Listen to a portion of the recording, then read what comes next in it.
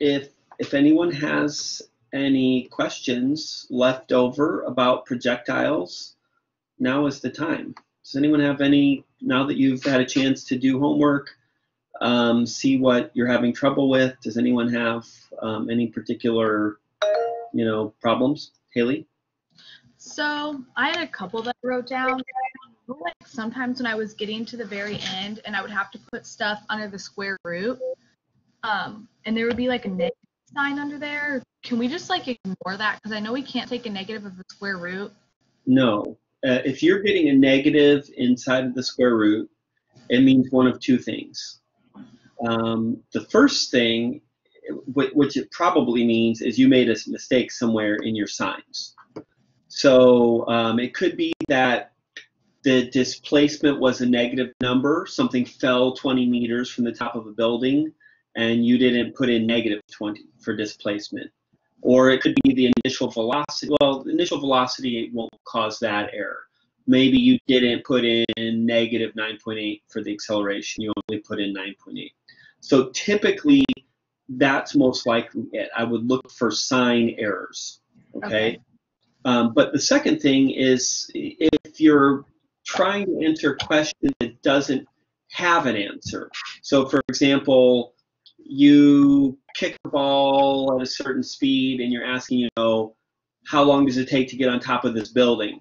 But you didn't kick it fast enough to get on top of the building. Okay, so then when you're solving for the time, you're going to get an imaginary number, which tells you that the thing that you are solving for never happens. Okay. But that's unlikely. That probably only happens if I make a mistake when I write the problem and pick numbers that don't work out. When you're solving homework problems, you should probably get a number, a real number, and um, it's probably a minus sign error. Okay. And then I had a second question too. It was about because you just said like anytime something's falling down or whatever, we use that as like a negative number. But on question 5.7, it says like a body is projected downward at an angle of 30 degrees. Uh-huh. So I did it all and got the wrong answer. And then I was like, I don't know why I got this wrong. And I went back and it says that in like for the answer solution they have, choose downward as a positive. Yeah, so the books sometimes do that. That's kind of a physicist trick that I would not recommend because I think it's going to confuse you. So instead, let me uh, put the whiteboard up. Um, you know, how do you handle that? So, so the idea is if everything in your problem is downward, so everything's going to be negative, you could just call downward positive, so everything would be positive. So like if your um, equation is like minus, oh, why do I have green? Um,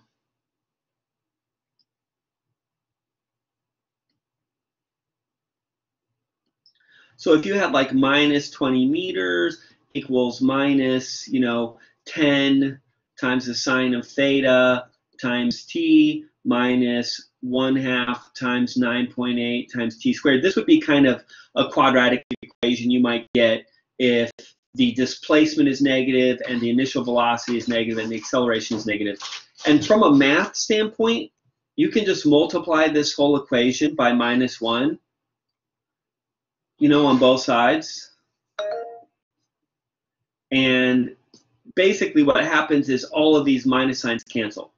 So sometimes physicists do this trick. They say, oh, well, let's just call down positive. And that's kind of like multiplying the whole equation with 1. But I don't think that's very beneficial, honestly. I don't think it saves you very much, and I think it confuses you. So in that particular problem that you're talking about, um, you have this, you know, something is projected downward, okay? So the picture looks something like this. Um, so that angle is negative 30 degrees. So when you're finding VIY, I don't remember the number, maybe it's like 20 or something, you would do 20 times the sine of negative 30 and you're going to get negative 10. Okay, so that's that's what, what's really happening in that problem you're talking about is the and I don't know if it's negative 10 or what because I don't have the problem in front of me, but um, the VIY should be a negative number. And if you put that in as positive because you just say, oh, it's a 30 degree angle, I'm going to do sine of 30, then you wind up getting positive 10. And if you have a positive 10 for VI, but a negative 9.8 for the acceleration, then your signs are not consistent. Okay? But I would, I know some of the problems say call down positive, and hopefully you, like you did, you only see that after you tried the problem and then you're looking solution and you have an error.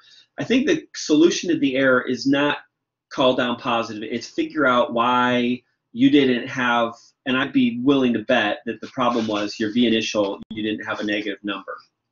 Um, so like once you realize that's the problem, then your intuition increases. And if you see that kind of situation again, you'll know what to do. Okay. Um, any uh, any other questions about that, or uh, Elise? So in this example that you're showing, should mm -hmm. the 9.8 be negative? Yeah, so in the real problem, if I'm doing that, um, you know, that there's going to be kind of minus 9.8 there. I like to just put the minus into the equation instead. So normally when I do it, I wind up just saying this whole thing is minus 4.9. So the, the 1 half times the minus 9.8, I usually just give that a minus 4.9. Is that kind of what you're you're meaning? Yeah, that answered it. Yeah. Okay. So, um, good. Other questions? Christian. Uh, for 5.13 uh, on the homework last night, when it showed how it solved for delta y, it used 72.8 meters per second when the initial velocity was 9 uh, 95 meters per second. And I, I just didn't see how they got that number. And I was just kind of curious as to that.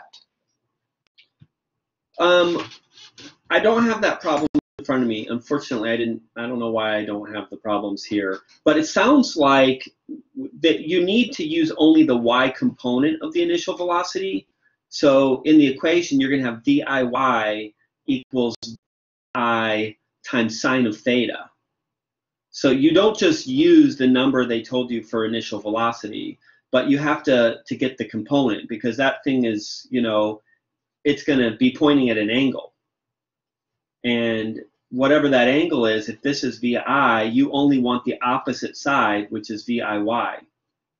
So you're going to get that by taking the hypotenuse, and since it's the opposite side, you use the sine of theta. Do you think that could be the problem? Uh, yeah, that looks like it. Okay, yeah, that's what I would. That's what I was thinking. Great. Um, so normally I don't. Uh, I don't like to go over homework problems in class because some people who are tuning in may not have tried that problem. Um, so with problems that are questions about particular problems, just stick around after class or set up a different collaborate meeting, and I'm happy to go over like in full gory detail problems that you've been working on and having trouble with. But if I do them and people who didn't try them yet watch me solve it, then it kind of it, it takes the fun away. I, I mean, I'm saying that kind of tongue in cheek, but it like the benefit of the problems is not seeing the answer or the solution. It's it's trying to figure it out and just like Christian had um, having one little problem, like okay, this this isn't right. I don't know why. And once you kind of get a targeted answer to that question, you learn a lot. But if you just see how to do the problem, it doesn't stick. So um, how? Uh, so does anyone have other kind of not maybe more general questions um, just about projectiles in general that that you would like to know or, or types of examples you would like to see?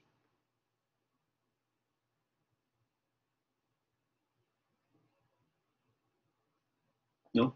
Okay. If you if you have specific questions specific to your work, just stick around after class, and um, we'll we'll go over them. Or if that if you can't stick around after class, just set up a time with me in Collaborate. I already have a, a couple of people set up for later today, so um, but there's a lot of time to sort of slide slide in your questions. So um, let me talk a little bit about what's going to happen after the contest. Okay, so of course we have a contest tomorrow, and I know you know 90 something percent of your energy is going to be focused on preparing. If you've done all the homework already, and you just have these certain questions, you're in great shape. You know, you're in great shape. So you can practice a little bit, pick some extra problems, pick some of the supplementary problems that that don't have solutions but have answers, and try your hand um, if you if you do it, you don't get the right answer. Send me your work in an email. I'll look it over and help you figure out you know what's going wrong. Um, but this is perfect, the perfect situation if you're done already, and now you can just do a little practice. Um, so after the contest on Friday, you uh, sometime Friday, uh, hopefully I'll have it uh, posted by the time you're done. Um, you'll see your next lab assignment which is going to be due on Monday. And um, you just need to do that sometime over the weekend. I mean, I assume Friday night, you know, you have to drink off the, the sorrows of the contest, but on Saturday or Sunday, hopefully, you you can uh, find time to work on that lab, and that lab will kind of help prepare you a little bit for what's going on on Monday. Um, so today, what are we doing? Um, today, I'm going to start introducing some background and uh, kind of beginning concepts for Chapter 4. Uh, chapters 4 and 5 are going to have their contests together as a unit, so it will be an 80 point test um, with 10 problems and eight, you know, you pick eight of them to solve and have graded. And uh, it's probably the, the most time consuming section of this course. I, I, really like to start it slowly and build the intuition because I think if you get a good intuition at the beginning, um, you'll have a much easier time of it. It really is essential that you are confident with your vectors by the time we get to chapter four. So in chapter three, you have to be able to find components, vi, x, and y there's a little bit of vectors going on, but in chapter four, it's sort of like full on vectors. So, um, you know, as you're practicing for chapter three, really, really make sure you're feeling 100% confident about how to find components of vectors, how to add them, how to find the direction of a vector once, like a resultant vector once you get it, those types of things, because we need to we need to master that and we need to kind of conceptually understand it too and, and be able to visualize it. So what's what are chapter four and five about? Basically, the idea here is we've we've learned these awesome master equations for motion, and they are pretty awesome. I mean, they they explain a lot of things um, that we observe, but there's kind of this one limiting factor, which is we we don't usually know the acceleration except for free fall. And that's why we have a whole chapter, chapter three, that's just free fall problems, because that's one of the few examples of motion where we are guaranteed already to know what the acceleration is without any work or thought on our part. We just know that a x is zero and ay is minus 9.8. It's always that way. So we never in chapter three worry about it. But what happens if it's not free fall. So for example, on the projectile motion, once we add in air resistance, then the acceleration vector is no longer vertical. It's no longer just 9.8 meters per second squared. And then it's not the case that Vx stays constant and all these things change. Okay, so the question is, what do we do in all of the other cases other than free fall? Whether it's just you know something a projectile with air resistance or a car on a on a road with some friction or you know whatever could be any everything else but free fall we don't know how to do it so uh, i'm going to give you a little bit of historical background uh, that leads up to how we find the acceleration in the other sort of 99.9% of the cases in the universe where the acceleration is not constant. How do we, or not not g anyway, not negative g. So how do we find it? So first of all, the story um, for me begins with this guy um, named Tycho Brahe. Has anyone ever heard of him? Raise your hand if you ever heard of this guy. Yeah, almost no one's ever heard of him. He um, he's kind of an interesting character. He was a Danish nobleman. Actually, I'm not sure exactly how to pronounce his name. I did have a student from Denmark about two years ago, and I, I you know, when I brought this, he like he knows, of course, he knows who this guy is because he's he's famous in Denmark. And I said, oh, great, you know, how do you say his name? And he just said, I don't know. he said it's not actually like a, a normal Danish name. Nobody has a name like this anymore. So he he thought of Tycho Brahe, but he's not really sure. So I don't know. I don't know how to say this guy's name. But why why are we talking about him? So he uh, let me give you a little background on him. He was this Danish nobleman. He um, he was born. His father was sort of like a second son. So he was like noble, but only the firstborn son inherited all like the land and property of his family. So he was like a poor nobleman. And his older brother, the one who inherited everything, was rich, um, didn't have any children. And so when he found out that Tycho's father and his wife were, were going to have a child, he said, you know, if your child is a, a boy, give him to me and I'll raise him and he can he can inherit our family, you know, land and money and stuff. And Tycho's father initially agreed to this, but when Tycho was born, he was mine. He didn't want to give up his son. So the rich brother abducted Tycho. He like snatched him up and stole him and raised him as his own child.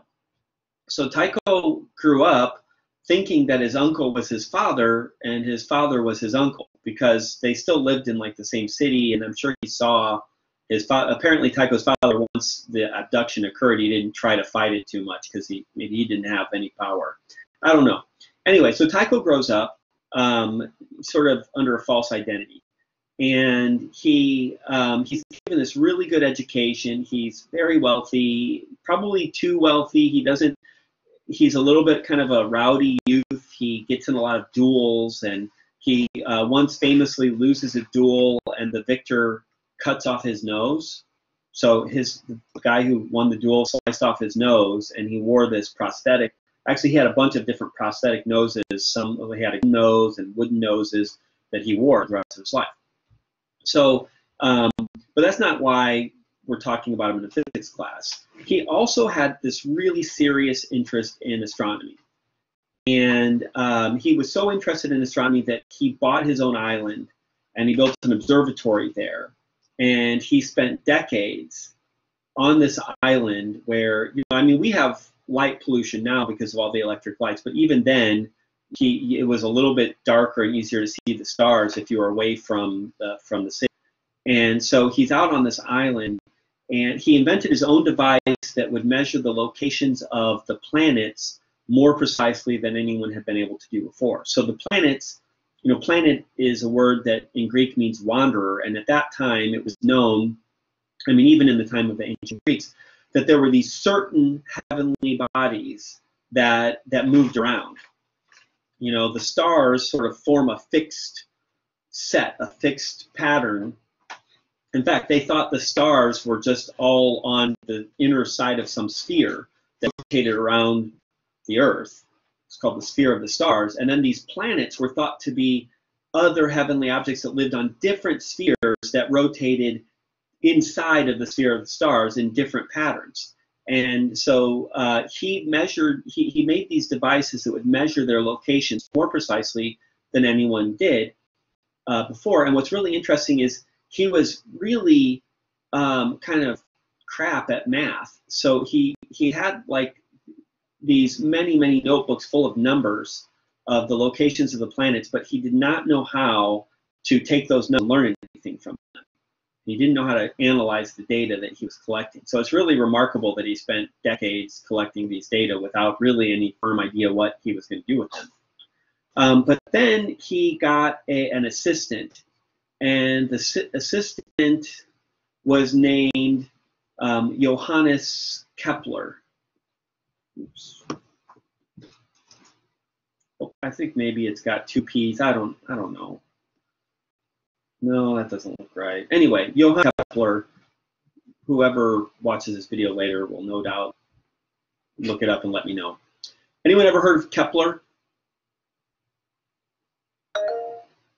Ziad has heard of him. A couple people. Um, Blair. So normally a few more people have heard of Kepler.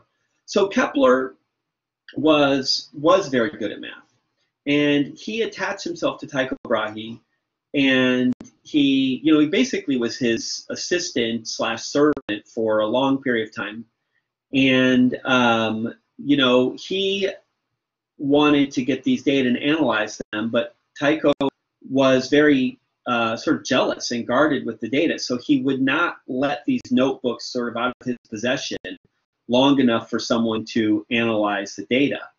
And um, so Kepler worked with him for, for a very long time. And then Tycho Brahe kind of died mysteriously. He, uh, the story of his death comes from Kepler, who was there. Um, apparently, uh, this story, I mean, take take what you will out of the story. It can't really be true, but um, at any rate, the story is that Kepler reported that they were both together at a like a dinner uh, hosted by an even bigger, fancier, richer noble, and that that higher ranked noble was talking and sort of expostulating on some topic and going on and on and on. And Tycho had to go to the bathroom, and he had to go really badly. Okay, but he couldn't get up while this guy was talking because it would be very rude. So he just held it for so long that his bladder burst. And he like maybe a couple days later he died this very miserable terrible painful death. So this death was considered kind of mysterious even at the time because um, it was well known that mercury poisoning would lead to this exact outcome to this burst bladder and this this death and so there were whispers that maybe somebody poisoned tycho brahe with mercury um, we don't know if if anyone poisoned him with mercury, but we do know that Kepler, as soon as Tycho died, he went back and he stole all of the notebooks. He took all these notebooks and he absconded with them. Um, Tycho's family was very angry about this and tried to get them back, but uh, Kepler didn't give them back uh, or maybe he did after he analyzed them. That, that I don't know. But he analyzed all these data and he made some really um, remarkable discoveries, which is why some people have heard of Kepler and nobody's heard of Tycho Brahe. So, um, and, and, by the way, uh, Danish scientists, I think maybe like in the late 90s or early 2000s, actually exhumed Tycho's corpse and tested it and found, tested his hair and found that he did have high levels of mercury and, and likely was poisoned mercury, but it's unknown whether he just poisoned himself because a lot of people at that time were using mercury to try to turn lead into gold, and um, you know he might have been doing something like that and just poisoned himself. Or I like to kind of imagine that Kepler took him out to, to get the data. At any rate, what did Kepler learn? So he basically learned three facts um, by analyzing these data. It was only possible because the data were so precise and so took place over such a long stretch of time. But and it's it's really amazing to me that he was able to do this without a computer or calculator or anything, just paper and pencil. But he saw that the planet. So let me draw a picture of you know the sun, and um, my I should have a toolbar here that I don't. So he saw that the planets move around the sun in an elliptical orbit. So this was remarkable for two reasons. First of all, the conventional wisdom before Kepler was that the planets are actually moving around the Earth. So Kepler was able to analyze these data and see the planets move in orbit not around the Earth but around the Sun. So some the ancient Greeks, some of them had thought had the same point of view, but then this had been later, for theological reasons, considered heretical and uh, was not allowed to put forth this theory. But Kepler's, with these data, were able to show, to demonstrate that the orbits were around the sun and around, around the Earth. And secondarily, that they were not circles, they were ellipses. So that second part was huge because the you know the idea the conventional wisdom even the greeks nobody had questioned the idea that the orbits of planets were perfect circles. They were thought to sort of occupy a sphere which would rotate around the earth. Um, and if it's rotating around the sun fine but it should be a perfect circle. And the reason is these are heavenly bodies. They are sort of the represent the perfection of the heavens. And if they're not a perfect circle then all of a sudden one wonders well why why are they elliptical? And why is this ellipse a little more stretched and another one is a little more like circle? And you know there are all these why questions that occur which no one asks when it's the perfection of the heavens. There's just sort of this inherent logic behind you know the gods or god created the universe and made it perfect and there are these perfectly circular orbits of these heavenly bodies. And once we discover that they're not perfect circles, then one has to ask why. So that's his first sort of discovery. The second one is that the period of the orbit. So we use the letter T for period. And by the way, this is all historical background, so you don't need to know any of this at this time, but we will have a chapter on gravity later on where I will reintroduce all of this stuff and, and make it more technical. Okay, so this is just for background. But the T stands for time period. That would be for the Earth, it's 365 and a quarter days. It's how long it takes for the planet to make a complete circuit around the sun. So that time period squared is proportional to, so this symbol is, stands for proportional to the radius cubed where since it's not a perfect circle, the radius is sort of defined as the average radius. Um, so this is a mathematical law. And that's very interesting because mathematical laws then sort of invite us to try to use formulas to figure out why that's the law and not some other thing. You know, when we see a pattern in nature, uh, and whether you have theological ideas about the sort of perfection of the heavens or not, you still, when you see a pattern in nature, a mathematical pattern, you kind of take notice and go, oh, that's very interesting. What, what, why is that? Why isn't it just the period is proportional to the radius or, or radius to the fourth power? Why, or radius squared? Why is it this particular relationship? And the third thing that he saw is a little bit more um, sort of technical, but he saw that the planets speed up when they get close to the sun and they slow down when they get far from the sun in such a way that they they kind of fill an area.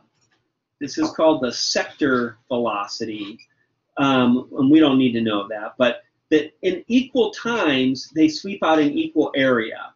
So when if if we imagine that these two areas that I drew are equal, then that would mean that the motion of the planet occurs in the same time interval for those two parts of the motion. So again, that's a very precise and, and sort of obscure mathematical feature and kind of begs scientists to, to try to answer why. You know, why is it like this?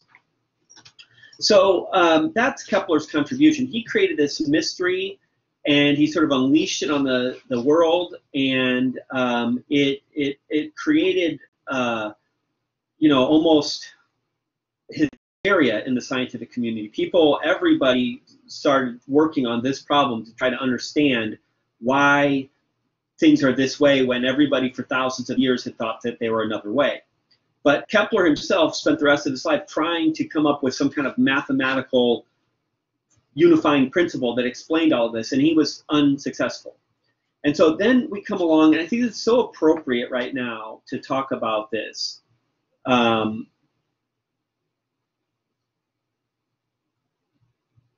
we talk about this guy, Isaac Newton. Has anybody ever heard of that guy? Raise your hand if you ever heard of it.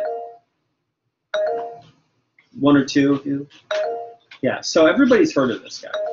Um, so Isaac Newton, this is really interesting. I mean, really, uh, just think about that. There's like this, it's not exactly irony, but it's, it's like the opposite of irony somehow. Isaac Newton was a college student, okay? And he was at college, and he was in physics class, just like you guys. And um, his physics teacher introduced to him this problem, you know, this mystery that everybody, including his physics teacher, was trying to figure out solve. And then in the middle of the semester, plague broke out, and they had to close the school, and all the students had to go home. and uh, but they didn't have the internet, so they couldn't do distance learning. So Isaac Newton, during this plague, goes home, and when he got home, he discovered his mom had bought a farm and wanted to be a farmer. He had no interest in farming. I bet some of you got home and found out your parents decided to take up gardening or something, you know. And uh, he had no interest in farming, so he basically holed himself up in his room, like like you guys probably do. But he didn't have Netflix, so he worked on this problem and he figured it out. You know, so this guy, he's a student. He he, he doesn't know a whole lot yet, but he gets this. His mind is sort of open, and he gets this this mystery. He goes home and he figures it out, and he comes up with the theory of gravity. Which is, you know, probably, if you've heard of him, it, this might be why his theory of gravity. Which, you know, when I first learned about it, I thought it sounded kind of weird because here, you know, did no one really know about gravity before Newton? I mean, he really he was like this kid. and he sat under a tree and an apple fell on his head, and he's the first person to notice that apples fall out of trees or that you shouldn't park your car underneath a bridge, you know, because of the pigeons. No, everybody everybody knew about gravity. So what he did when he discovered, quote unquote, discovered gravity, is he explained, he, he came up with a mathematical formula for gravity. It says the force of gravity, and again, we'll go over this when we get to our gravity chapter, is equal to a constant called Newton's gravitational constant times the, the product of the masses times the distance squared. So what this means is that, say, the Earth and the Sun, or another planet and the Sun, there's a force of attraction between them. And this force gets bigger the bigger the masses are, but it gets smaller the farther apart they are. And, you know, using this equation and what are known as Newton's three laws of motion, he was able to explain all of Kepler's observations. They all come from Newton's laws of motion and this theory of gravity. And so this basically launched him into almost instant international fame and recognition. And he kind of, for the rest of his life, he was the number one scientist really in the world. And uh, he he did other things, but he, in particular, he was working on this gravity thing. He uh, he kind of figured out a, a cool math trick that nobody had done before. Um, has anybody heard of Newton's math, special math trick? I bet some of you have have learned his trick somewhere. Anyone learned his Newton's math trick? No? Okay, his, his math trick is called calculus. So he, he figured this out on his own while he was trying to solve this problem of gravity. But what's really cool this was very smart, crafty, I guess crafty of him. He didn't tell anyone about calculus. So he published all this stuff about gravity and about his laws of motion, which we're going to learn in a minute. Um, but he, he figured out calculus and he kept it his secret. Okay, and it was this incredibly powerful mathematical tool, and he could use it to solve these problems that everybody else thought were impossible to solve. He could solve it almost like on the back of a napkin, you know, using calculus. And so people really thought he was like a wizard. It, it was it was really like if you went back in time, but you had your smartphone somehow connected to the internet of the future, and people would come in and ask you a question and say, "Hey, uh, you know, Isaac, um, you know the capital of Mongolia?" And he'd say, "Oh, yeah. Uh, hold on a second. Um, give me a sec. Yeah." And he turned his back and he'd look it up and he'd tell them the you know he, it's like he knew everything somehow this math trick. So maybe 20 years later, uh, a, um, another mathematician named Gottfried Leibniz published, created on his own and published calculus, and then there was a big intellectual dispute: who gets to have credit for calculus? And uh, Newton, because he was sort of the number one guy in the world, and the the British Royal Academy of uh, Arts and Sciences got to rule in the dispute. They ruled that Newton got you know gets the credit, but um, and Leibniz actually became a laughing stock in in Europe. The people made fun of him. Um, Voltaire wrote a play called Candide that is specifically its purpose is to make fun, fun of Leibniz. Um, and Newton later in life uh, was quoted as saying, this is a direct quote, let me make sure I get it right. He really enjoyed crushing Leibniz's spirit. So he was not a nice guy. He wasn't a nice guy, but he was very, very smart. Um, and he, he had these really incredible contributions to science, and it's his fault, not my fault, that you're in this class right now. Because if he didn't do all this work, then this subject wouldn't really exist, most likely. So um, his three laws of motion. This is what we're really after today. Okay, so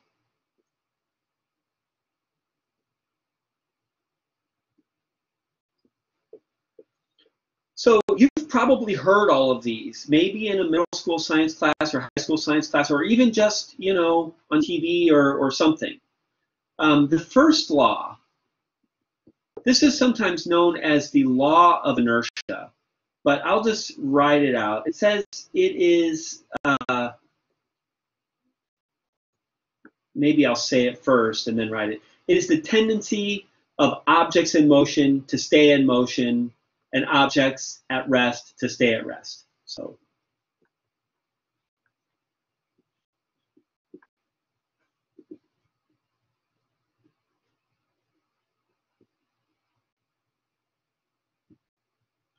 Sorry, my computer's having a little bit of lag here, so I'm going to let catch up.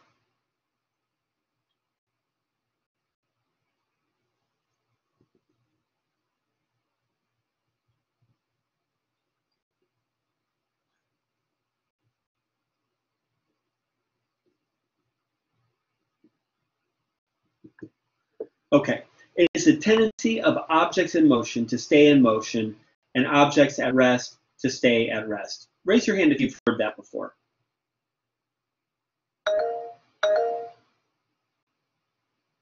Okay, most of you have heard that. Um, now, um, raise your hand if you believe that.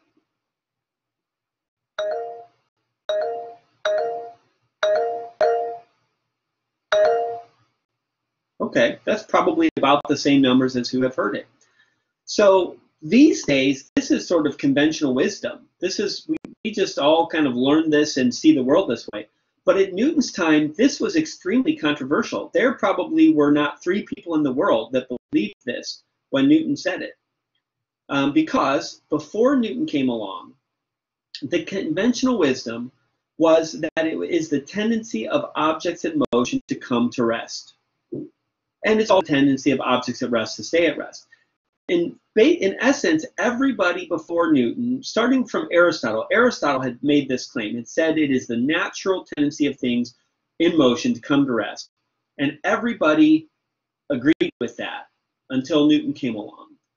And it, it makes sense because that's what we observe. Everything in the world that we observe in motion eventually is going to stop moving. Even, you know, even humans, you you're born and you you know, you move around and maybe 70 years, 90 if you're lucky, you move around and one day you lay down and that's it.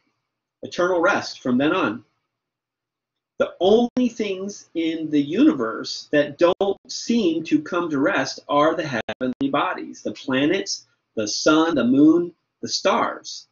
So it was thought that the natural order of things is everything comes to rest and only these heavenly bodies get to keep moving. And so we just have to explain why do the heavenly bodies, what keeps them going? And the answer is God or gods or angels or some supernatural, you know, agency. If you're the Greeks, it's the god Helios who has a chariot and he drags the sun around. And every day you're just hoping he doesn't die, something doesn't happen, and he forgets to come up, and the sun doesn't come up. Um, if you're a medieval European, it's you know probably their angelic forces responsible for keeping these in motion. Um, but it had to be explained because it was not the natural order of things. And Newton comes along and says, no, no, that's the natural order of things. Objects in motion just tend to stay in motion forever. So what the stars and the sun and moon and planets and, and Earth are all doing is just the natural thing. It's on Earth where things tend to come to rest that we have to explain it. And we, we can't just say that's the way it is. We have to explain it. And the explanation, he says, is friction. So, for example, if you kick a soccer ball, I know, again with the soccer balls, right? If you kick a soccer ball on tall grass, it, it moves a certain distance, and, but not very far, and it stops. If you kick it on shorter grass, it goes a longer distance. If the grass is really short, or you have maybe nice artificial turf, it will keep going for quite a while. If you would kick it onto, say, a frozen lake, it would probably keep skidding all the way across the lake.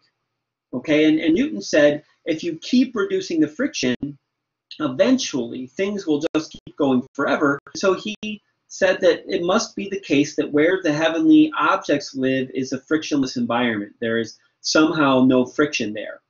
And that must mean it's you know empty. There's nothing there for, for the planets to be rubbing on as they move the way a, a ball rubs on, on the grass.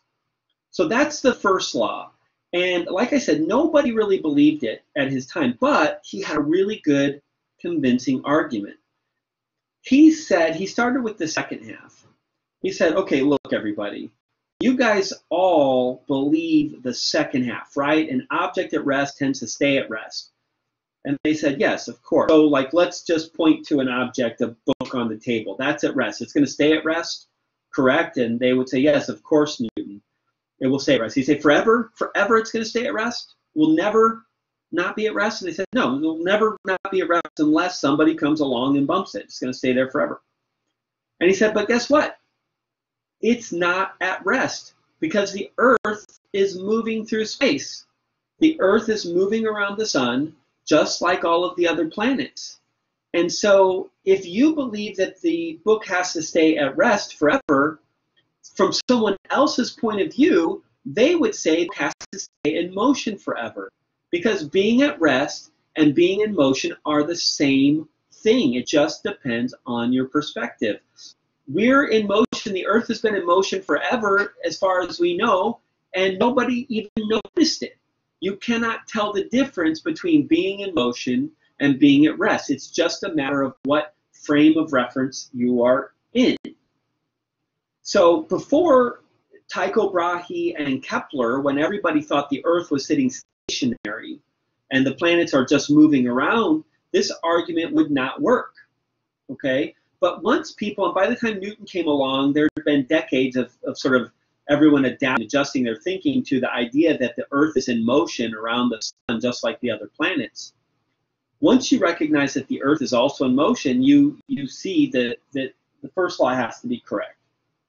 So he was able to win people over, and the first law actually isn't even necessary, but he had to get people on the same page as him first before he introduced the second law. So the second law is written mathematically, but it says things in motion do change their motion. So first law, if we were to write it as a mathematical statement, we would just say A equals zero. That means the velocity stays the same forever, and it's a vector. Can't even change their direction according to the first law. Everything in motion stays in motion. And the fine print is it stays in motion in a straight line at constant speed. Okay? The second law says the acceleration is not always zero. And mathematically, we would write it this way. The, so this symbol here, that's the Greek letter sigma, And it stands for the sum of, S-U-M, like mathematical sum, add up. The sum of the forces equals the mass times acceleration. So really what Newton says is nothing accelerates unless there are forces acting on it.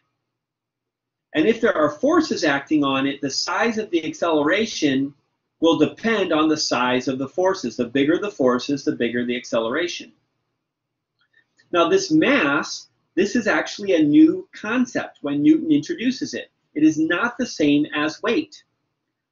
What is mass exactly? Mass, if we rearrange this, it would be the ratio of the net force over the acceleration. In other words, if I push an object and I see a small acceleration, it barely moves, then it must have a big mass. On the other hand, if I push an object and I see a very big acceleration, it must have a small mass. So what mass is, and keep in mind, we all know what mass is. I mean, maybe we confuse it with weight a little bit because they're very close. But this concept didn't really exist in Newton's day because what mass is, is how much an object likes to obey the first law. An object with a lot of mass really likes to obey the first law. It is very hard to make an object in motion that has a lot of mass stop being in motion or even to change its speed. Just imagine a moving train. There's a runaway train. It is very hard. You have to basically be Spider-Man or Superman, the Incredible Hulk, somebody to stop a moving train. Okay? It's very, very hard because it has a lot of mass. But moving ping pong balls are very easy to stop. Anybody can stop a moving ping pong ball. So Newton, in this one equation, he kind of invents the concept of mass. Mass is the tendency of objects to resist changes in motion, and the, the, mass itself would be a, a measurement of, of that thing, of that quantity. He also creates the concept of force with this equation because before Newton, it did not need to be explained why things slow down. That was just thought to be their nature. You just kick a ball and it just, on its own, it slows down. And so it was thought it would slow down in the absence of any other object. It would still slow down because that was its nature. But Newton said, no, it, you need forces. If something accelerates, he says things don't accelerate unless they, there's a cause. So the name he gives to that cause is force. Now, we don't know if forces exist. We can't see the force. We see the acceleration. And because we now believe things don't accelerate on their own, just imagine your uh, computer starts moving all of a sudden on its own. That would be very strange, and you'd be looking around the room to figure out what's happening. Maybe you throw your computer away because it's haunted. I don't know your particular you know feeling about ghosts, but maybe you're looking for strings or trying to figure out how your you know friend or partner, or sibling, whoever is messing with you. But we don't see things just accelerate on their own. If we see something accelerate, we assume something caused it. And that thing we assume is a force, but we cannot see the force or hear the force or smell it or taste it. Uh, we feel when we touch something, we feel something. We feel an interaction. That interaction is not exactly the force. So this second law is really what we're after in this next chapter because this is how we find the acceleration. Okay? So our skill of adding up vectors, that's what sum of the forces means. It means add up vectors. That's going to be an essential skill going forward because we will have different force vectors. We need, as we know, we need to be able to find their components. We have to be able to add up their components to get a resultant component, which we would call that the net force. And then we even want to know the direction of that thing so we can know the direction of the acceleration vector. So that's the key focus. But we're not done because there is also Newton's third law. Now, the third law is the one that almost everybody gets wrong. Even, I mean, my high school physics teacher got it wrong. I know that much and it took me quite a while to really understand it. Um, but uh, in English, I'll say it in English. In English, sometimes people say for every action there's an equal and opposite reaction. Raise your hand if you've heard that before. Okay, good. A lot of people have heard that. Just forget that because that sounds like nonsense. It's so hard to understand what the heck that means. When you hear that, I don't know why. This is probably because I'm like a physicist and maybe a little bit nerdy, but I think of superheroes. Somehow, for every action, there's an equal and opposite reaction. I think if there's a supervillain, there will be a superhero who will fight him. I know that has nothing to do with it, but it's very vague. What is an action exactly? What is a reaction? That's not so clear, and that's not the only unclear thing. So I don't like to write it in English. I like to say it as a math sentence.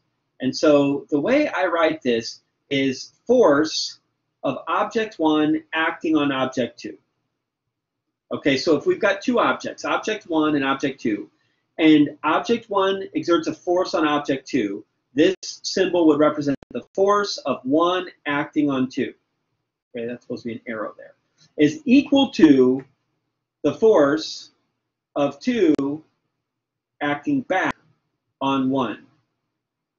There's a minus sign in front because if object one pushes object two to the right, then object two is going to push object one to the left. So this is important because it makes it clear that these two forces are acting on different objects.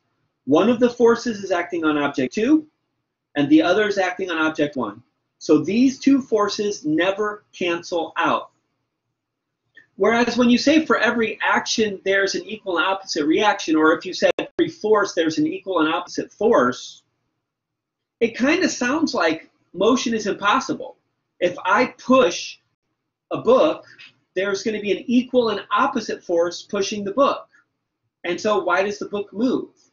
That's not what Newton's third law is saying at all. It says if I push the book, the book also pushes me. And if I push it with 10 pounds of force, it's pushing me with 10 pounds of force. So I cannot push something harder than it pushes back on me. Now, I don't want you to get the wrong idea. Sometimes I worry that, you know, I, I'll tell you this and you'll think, oh, this is perfect because maybe there's someone in your life, you know, some kind of bully who's bothering you, you know, um, but he's he's six foot seven and weighs 300 pounds, so you've been letting it slide because just being practical. And you just discovered, I told you, he cannot push you harder than you can push him. So you go and you find this guy, and I don't know what your issue is. Maybe I'll just imagine he's he's bothering your sister, okay? And and you say, hey man, you know, stop messing with my sister. I've I've had enough of your stuff. And you come, you know, you come to the lecture tomorrow and I see your, you don't turn your video on because you've got a, your arm is in a sling and you have a black eye and, you know, you're all messed up.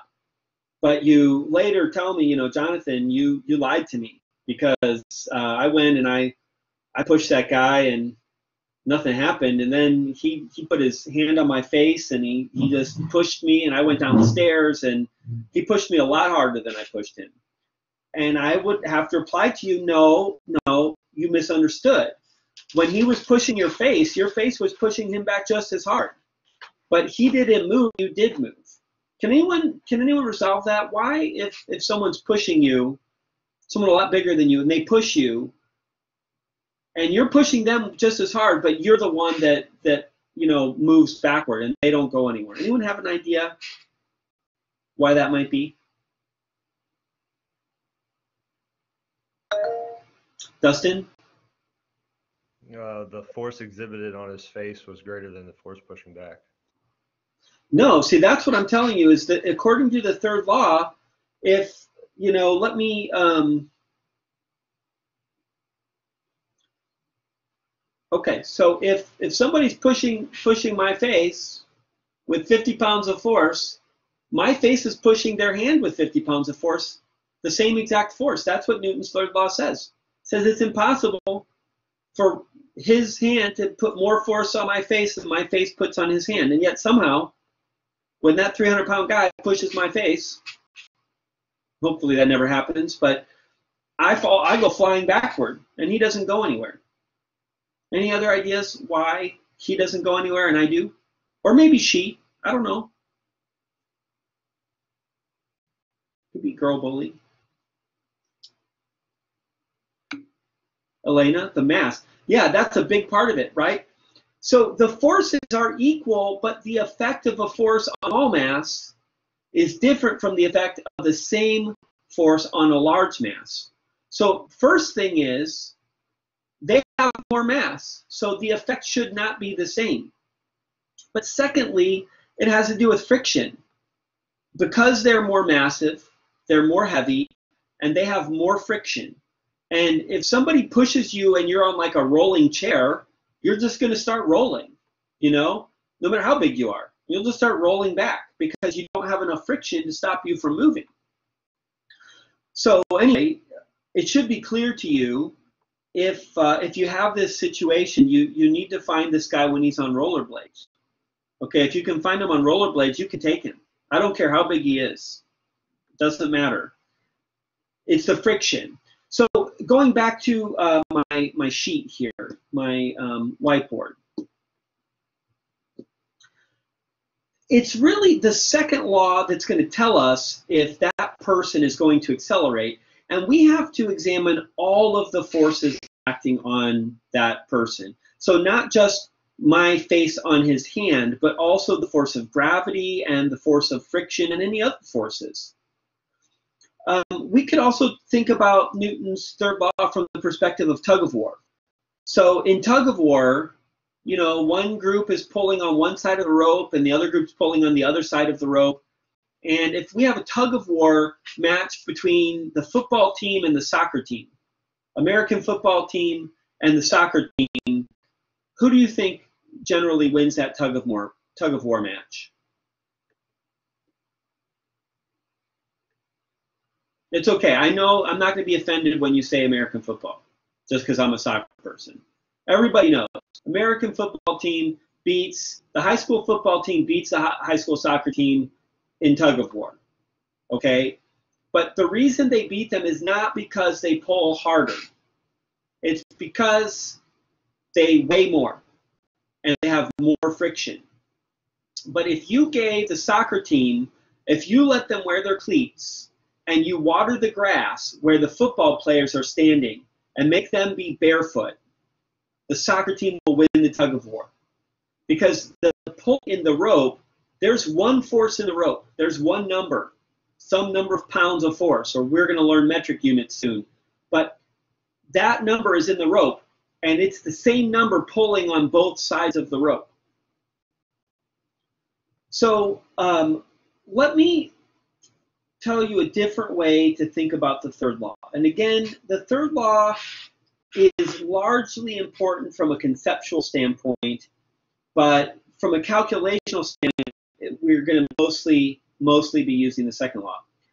What the third law really says is that when there when something exerts a force, what you really have is an interaction. There is an interaction between two objects. It could be this guy's hand in my face, or it could be, you know, just uh, someone you're pushing your book away from you. So there's an interaction between you and the book. There is only one interaction between you and the book. And that interaction is its own kind of thing. But my perception of the interaction is what I would call the force of one on two.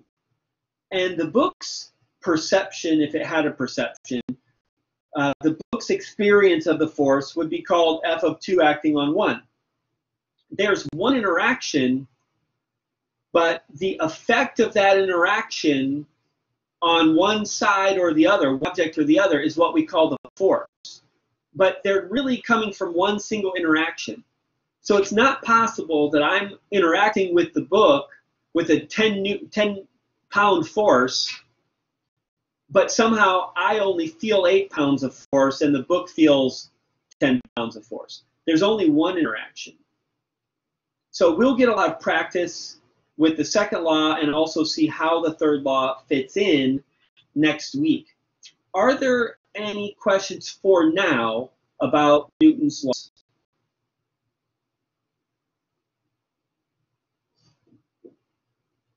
Okay, I want to just point out one thing, and this is really uh, geared toward people who have had physics before. Okay, so if you haven't physics before, still pay attention, but this is mostly targeted at people who had physics before. So just imagine we have uh, a box sitting on the ground. And I want to uh, draw in the forces acting on the box because I want to know its acceleration and I want to be able to add up its forces. So one force is going to be, let me use blue. No, that's not blue.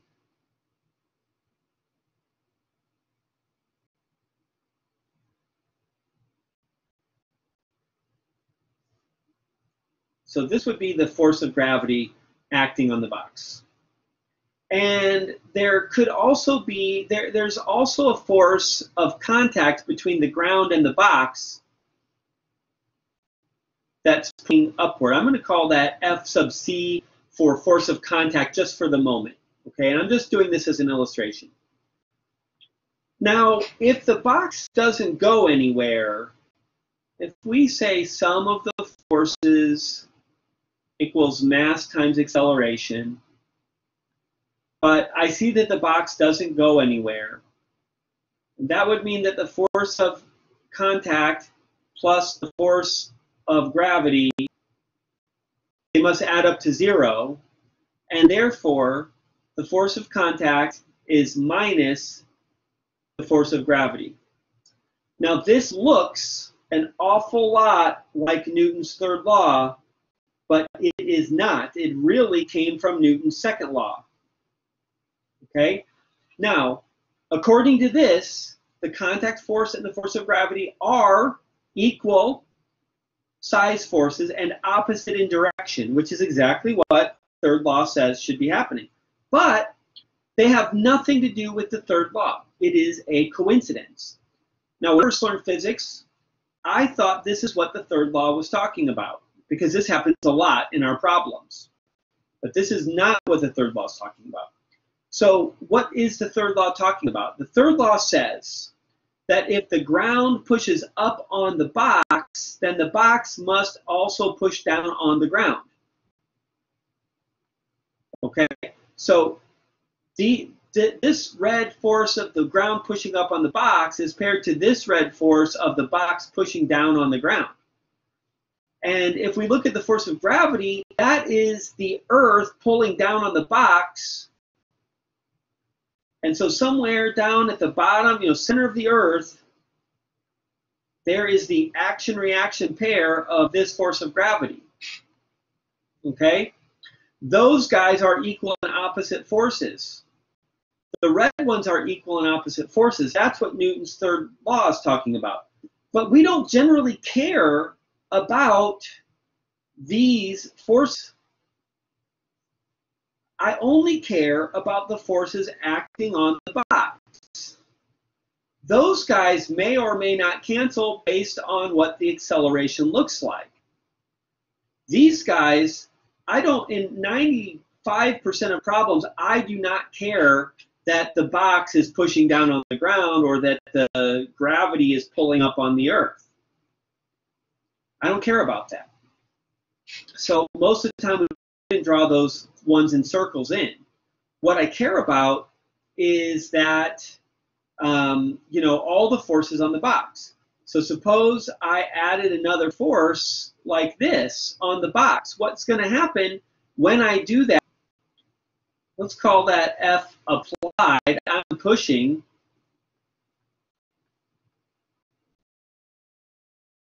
now it is not true that the contact force is just equal and opposite to the gravitational force. In fact, I would have to find a way to add these three vectors to get zero, which means this guy probably gets a little shorter, maybe even it winds up doing something like that, so that when I add these three vectors, I still get zero. Then nothing looks equal and opposite to one another. So Okay, again, that was mostly geared toward people who may have had physics before. and may have understood that when we have this kind of thing going on, that that somehow is related to the third law when it is not. Now we're going to cover it in great detail and very slow pace to make sure everybody gets it with lots of examples next week. But I don't want to give you, I don't want to get into the meat of that this week because I know your mind is still kind of focused on your projectile motion and getting ready for this contest. So does anyone have any questions about uh, Newton's laws right now?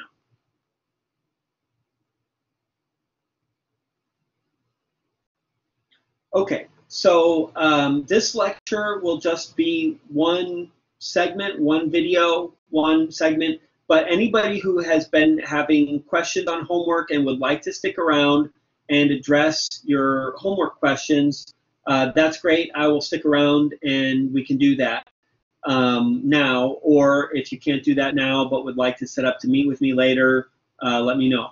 Okay? Um, so I'll end the recording now and see some of you later and maybe some of you now.